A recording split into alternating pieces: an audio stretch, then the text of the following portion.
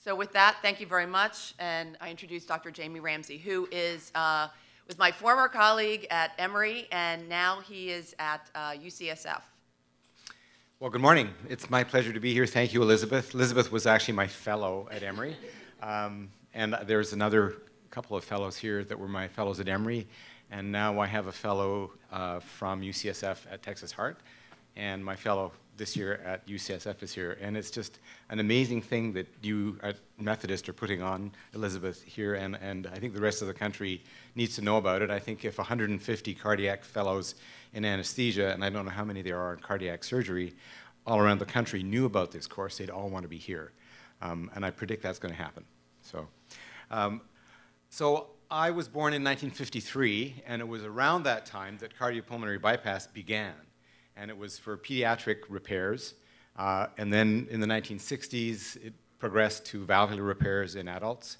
And towards the end of the 1960s, coronary bypass started to become common and really took over in the 1970s. So that's how long cardiopulmonary bypass has been done for. And there's been dozens, hundreds, thousands of studies on different aspects of what this does to the body. I wish I could tell you there are definitive answers about how to predict what would happen, uh, how to prevent the problems, um, and how to deal with them when they occur. Um, the science is not spectacular. Uh, so I'm going to give you 60 years of thousands of papers in 20 minutes. wish me luck. We're going to talk a little bit about the mechanics, which are the circuit, the oxygenator, and the pump, briefly. talk about uh, blood pressure, a big deal during bypass, the flow and the hemoglobin that's created with the hemodilution and the procedure itself. Uh, temperature and acid base, one of the favorite topics of anesthesia exams, alpha stat versus pH stat. we will talk about that. Um, the brain and the kidneys, which are often viewed as the main target organs that we are concerned about during cardiopulmonary bypass. Uh, and then the topics that um, overwhelm the subject of cardiopulmonary bypass, and that is the activation of inflammation, vascular permeability, and vasoplegia. Uh, Dr. Levy, my former colleague at Emory and my good friend, and also one of Dr. Le uh, Herrera's mentors, is going to give you uh, the state of the art on coagulation twice today, I think, once during bypass and once after bypass. so I'm not going to talk about that. So this is a, a cartoon from the um, I, can I see this one? I'm going to have to stand by one of these to point it out to you. From the internet. Can you hear me if I, can you hear me? So um, heart here, this is uh, a venous cannula in the right atrium. For most cases, it's a single venous cannula, empties by gravity into a pump reservoir, the venous reservoir. There's two other things that come into the pump reservoir as a rule. Um, them is a sucker pump, which is, we call it the coronary sucker. It's a suction that the surgeon uses in the surgical field. And then there's a vent pump. So the surgeon might put a vent in the left ventricle to keep it decompressed. So these things come through plastic tubing, just the way the venous cannula is in plastic tubing, and they're actively suctioned into the pump reservoir. Okay? The reservoir is aspirated by a systemic blood pump, which is your cardiopulmonary bypass pump, and it goes through a heat exchanger and an oxygenator, um, and then back through an arterial filter uh, into your arterial system. And in most institutions, the cardioplegia is a combination of blood taken from the circuit, from a, another little pump here, and then mixed with a cardioplegia solution and given uh, into the coronaries to stop the heart. So the reason to show this slide is all the plastic all the tubings, the pump reservoir, an air gas, uh, sorry, a blood gas interface at the reservoir, uh, pumps that are compressing the blood not in the vortex of the left ventricle that you just heard about, but uh, the two kinds of pumps that we use. Um, another cartoon from the internet. This is the old roller pump um, that you'll see on most cardiopulmonary bypass machines, and that's used for the uh, coronary suction and for the um, left ventricular vent in most institutions today. And when, we, when I was um, a resident, and for most of my career, we used this same kind of pump to pump the blood through the whole system and into the body. Um, but in the last 10 or 15 years, most places have gone to the pump on the far right, which is a centrifugal pump, which is a spinning kind of frictionless pump that aspirates the blood through the top and pumps it out through the side. Um, and the difference is that the roller pump compresses the blood. The, the, roll, the blood is going through a plastic tubing around here, and there's a metal wheel that compresses the blood to, to, to propel it forward, and that's more traumatic to the elements of the blood. So you'll find that I think, I don't, I don't know about all, but certainly most institutions in this country have changed the main pump to the centrifugal type of pump. But you get the picture that there's lots of plastic, there's blood-air interface, there's pumps, there's suctions under suction. One of uh, my surgeons at uh, Montreal when I trained used to call the coronary sucker the hemolyzer. He'd say, hemolyzer up.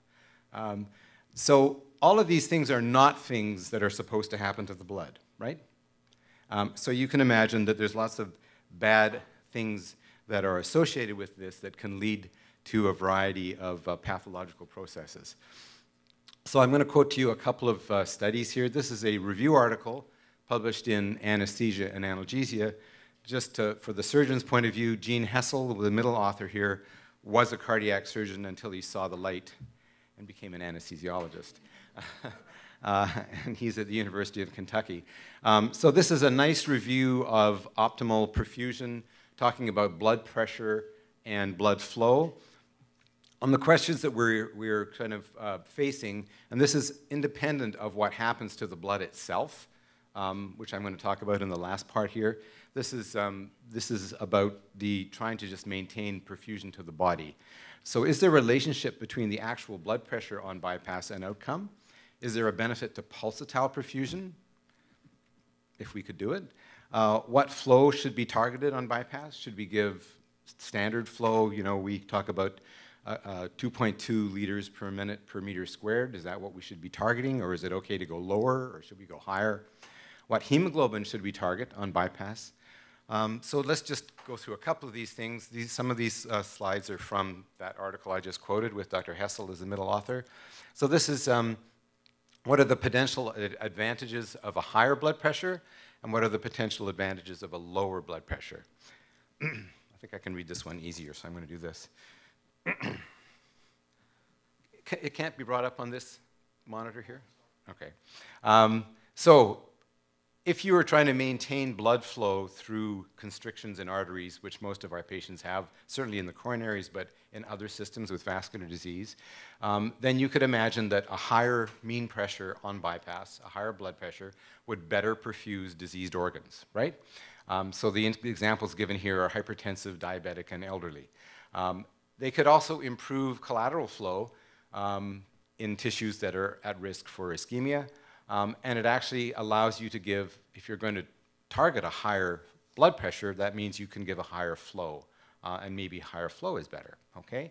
On the other hand, the potential advantages to lower blood pressures are that if you're not pressurizing the blood in a pump, it could be less traumatic to the elements of the blood. That kind of makes sense, right?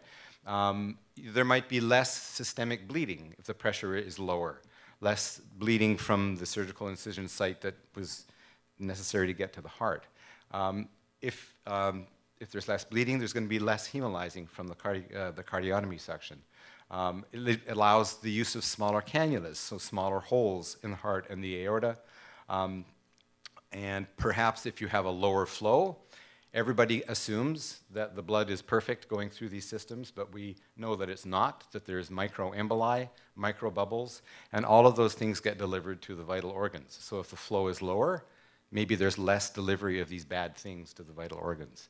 So these are the arguments in favor of either higher or lower mean pressures. And I wish I could tell you there's a definitive answer, but there isn't.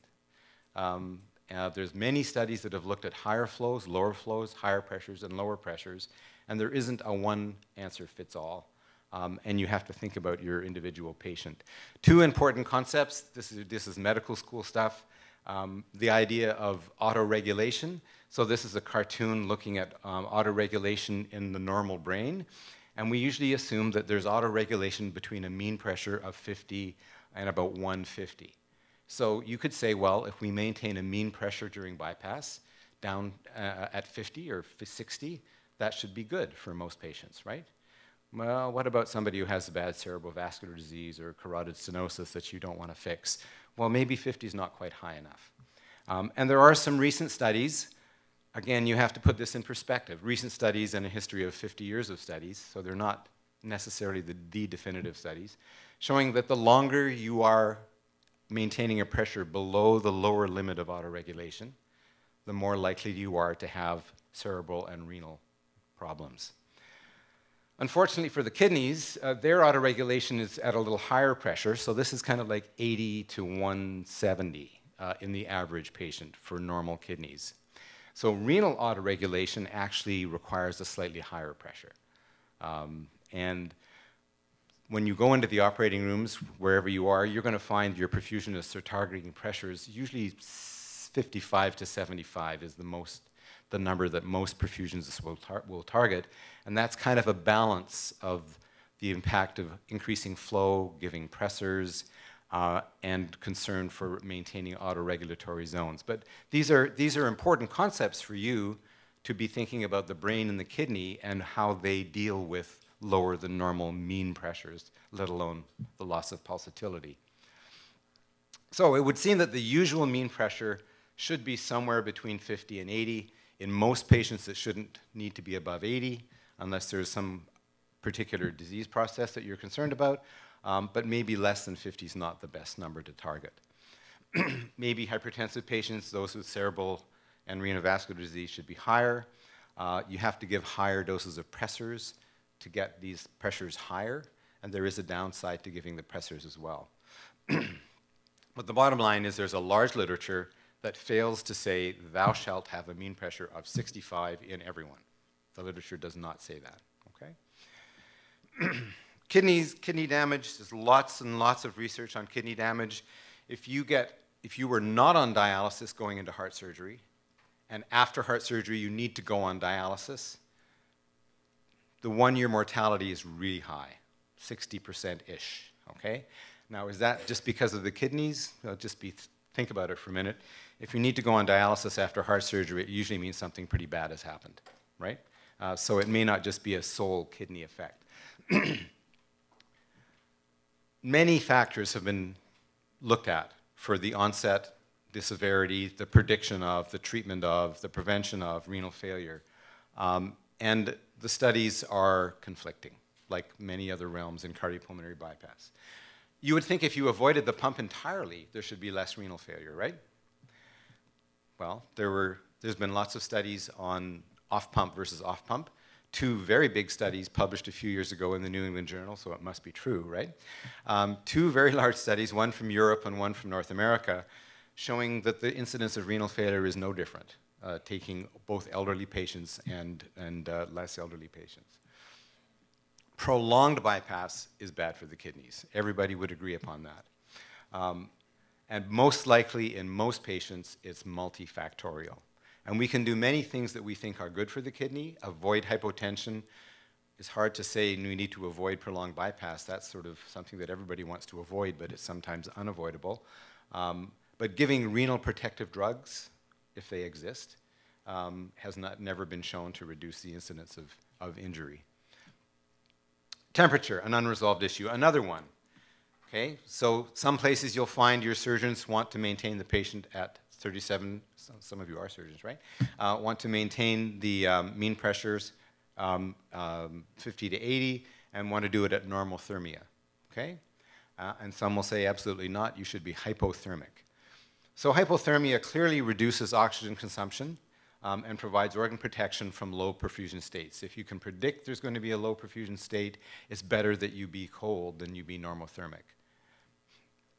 Hypothermic, hypothermia is neuroprotective and it's cardioprotective. And we all know that hyperthermia, if you have a neurologic insult at the time you're hyperthermic, it's going to be worse. So I think these studies that have been done looking at temperature are, I think the fair thing to say is that you need to avoid hyperthermia. If you're going to predictably have a period of low perfusion, certainly circulatory arrest is the extreme example, then hypothermia is probably something worth doing. But in the average coronary bypass case, where you don't expect a very long bypass time or real problems, you'll find many surgeons do this at uh, normothermia. Uh, normothermia, as we said, preserves all sorts of important things that you don't have to deal with um, if, you haven't made your patient hypothermic. Now, this is the clinical studies on the effects of pulsatile and non-pulsatile perfusion, okay? Surely the body is supposed to be perfused with pulses of blood, not just with a continuous flow, okay? You will find arguments improved on the left column and no difference between pulsatile and non-pulsatile. Very recent article, kind of compelling evidence that microvascular permeability and endothelial function are adversely affected by continuous flow. Okay? Uh, and you'll find real advocates for pulsatile flow. It's not really available to us. You can't really get these pumps, um, and the, the argument is still going on. So we'll just leave pulsatile flow at, it's probably better, it's really hard to do, um, and the evidence isn't definitive, so you're not likely to see it uh, during your fellowship in most places. Our favorite topic, okay? So how should we manage blood gases, okay? Um, we measure blood gases in a blood gas machine at normothermia. At 38, 37 degrees is where, if you just send a blood gas, it will be read at body temperature, right? But if you correct it using a nomogram, what you find out is that with hypothermia, which is what happens on bypass uh, in many cases, um, blood gas solubility increases, so partial pressures of gases go down. So if you measure a blood gas at 32 degrees, you'll find there's low CO2 and an alkalosis, right? They don't measure it. They measure it at 37 and they correct it with a nomogram to 32. So the thought has that's been raised is, well, maybe it shouldn't be, shouldn't be alkalotic and hypocarbic at 32 degrees. Maybe we should add CO2 so that it's got a normal pH and a normal PCO2 read at 32 degrees, okay? Well, hyperventilating, sorry, hibernating animals don't do that. Hibernating animals have an alkalosis and a low PCO2 when they're asleep, okay?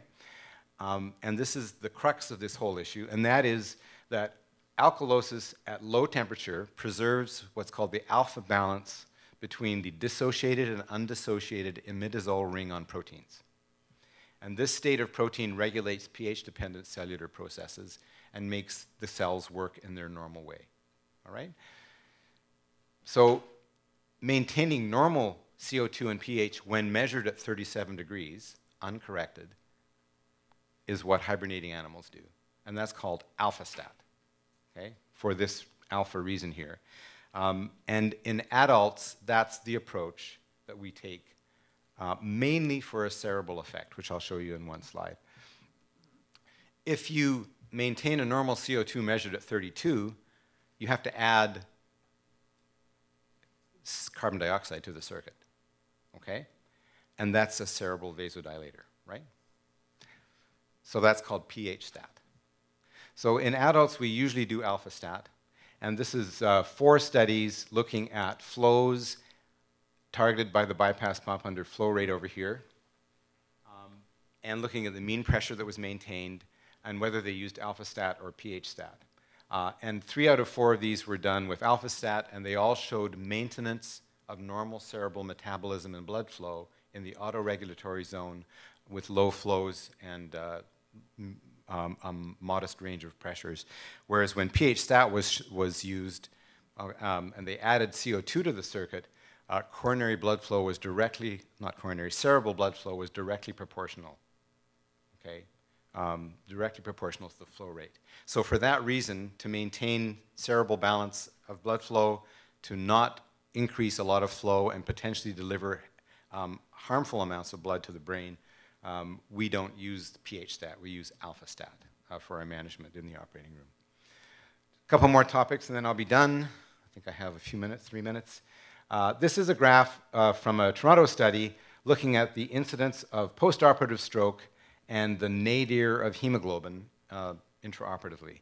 Uh, and the lower the hemoglobin, um, from about 29, uh, hematocrit of 29 down to about 20, 21, no difference. But as you go below 20 in the hematocrit, hematocrit there was a problem with um, increasing cerebral events. And you find that as a number that your perfusionist will be attentive to, and they'll want you to give blood or just they'll have a protocol to give red cells to keep the hemoglobin above um, or the hematocrit above 20. Uh, this is a more recent study. This was in the New England Journal just last year, looking at a restrictive or liberal uh, transfusion threshold in cardiac surgery patients of many, many types of surgery in many centers uh, in Europe and North America, coordinated from a Canadian center. Um, and I put down here 7.5 versus 9.5. So they targeted 7.5 as the perioperative hemoglobin um, and 9.5 as the um, postoperative hemoglobin versus 8.5. So they were using 7.5 versus either 9.5 postoperatively or 8.5 intraoperatively. And their conclusions, I'm not going to read to you, but the conclusions were it made no difference. Okay? So you could target a lower hemoglobin, a hematocrit of, of, of about 23 or 24 perioperatively, and have no impact on outcome. You didn't have to transfuse to a higher hemoglobin. Um, you probably remember the TRICC trial. It was a big study done in ICU, um, multiple ICUs, same question asked, same, same conclusions, that you didn't need to maintain a hemoglobin of 9. You got the same outcomes if you maintained a hemoglobin of 7.5. Now, last few slides I'm going to go through quickly because there's no real data. It's kind of a summary of what's going on. This is a nice review article published in 2013 uh, in the Journal of Cardiothoracic and Vascular Anesthesia by Richard Hall, who I think passed away. Am I right? Uh, he's about my age. That's what happens to us. Uh, uh, but he's a cardiac anesthesiologist in Canada, wrote a very extensive review on inflammatory mediators. So, what happens? We won't, don't have to show you this. What happens? Yeah, I'm done in one minute.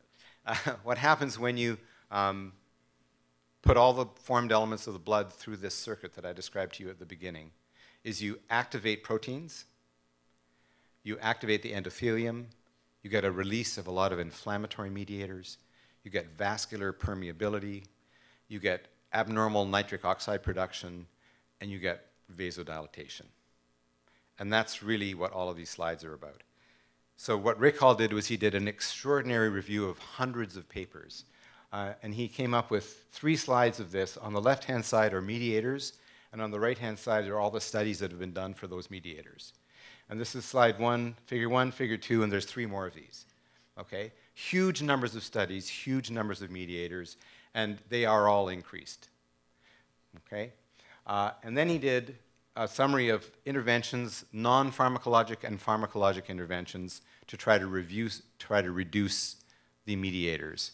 And this is an ongoing study, uh, an ongoing process of studies to understand how we can modify the mediators to modify the inflammatory response. And we don't have an answer, and we don't have any modifiers that are definitively concluded, uh, short of avoiding long bypass runs, because uh, that's the big deal. Uh, this is another, this is a review, start, uh, re review article published in the Journal of Medical Sciences uh, looking at vasoplegia, which is the uh, difficult to treat persistent vasodilatation and vascular permeability. Um, conclusion, exposure of blood to circuit and extensions causes activation of all sorts of inflammatory pathways, release of mediators. Surgical trauma, ischemia, reperfusion of the heart contribute in the same way. It's time related. Vascular permeability is increased. Vascular tone and response depressors is reduced. You're depleted of vasopressin. You're depleted of vitamin C. There's abnormal nitric oxide production. Um, and what can we do? These are things that have been tried, possibly may be helpful. We can reduce the surface area, reduce the suction, use um, coated circuits circuits coated with heparin-like substances that can reduce the adhesion of proteins, reduce the pump, prime, uh, the pump time. Escalating pressor strategies, clearly shown that as norepi becomes ineffective, it usually means that vasopressin is depleted, so add vasopressin. And then there's novel therapies. This is especially for vasoplegia. Things like uh, hydroxocobalamin and vitamin C, case reports to date, not definitive studies, but these are things that possibly can moderate the vasoplegia through a nitric oxide effect, at least, at least methylene blue and hydroxocobalamin. Vitamin C is responsible, uh, is, is necessary for production of catecholamines, and when vitamin C is depleted, then you don't produce enough endogenous norepinephrine. So, summary hemodilution, non pulsatile flows, you target the pressures, not the patient's own physiology. Inflammation, increased capillary permeability, vasoplegia, all due to surface activation um, and all the abnormal circuits we're exposed to. In most cases, organ function is reversible and mild. All of the processes are worse with prolonged cardiopulmonary bypass. And Dr. Levy's going to tell you about coagulation. That's all. Thank you.